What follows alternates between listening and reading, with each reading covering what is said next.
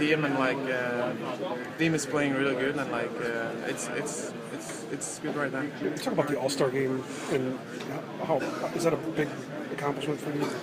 Yeah, for sure. It's it's nice to be there and like uh, be be one of the guys who, who's going there. So it, it should be a nice experience and uh, like uh, it's uh, it's good to go there. So you definitely playing in there? I'm I'm not hundred percent sure, but like. Uh, I think I'm going there, but uh, I don't know. We'll see after the game uh, for sure uh, what's what's going on. But uh, obviously they're gonna decide what's what's going on. Yeah. Did you play it last year?